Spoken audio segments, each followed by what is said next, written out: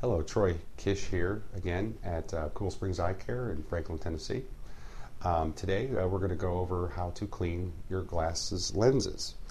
Um, we have a solution here that we use uh, that is one third alcohol, which is 90%, and two thirds water, and then maybe a dash of baby soap. And what we're going to do is we're going to give one squirt to each side of the lenses, and we're going to take the cloth and we were going to rub it with our thumb and our fingers on both sides, like so.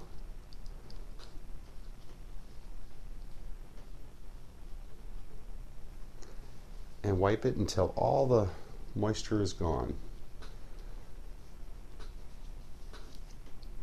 That is how we clean eyeglass lenses.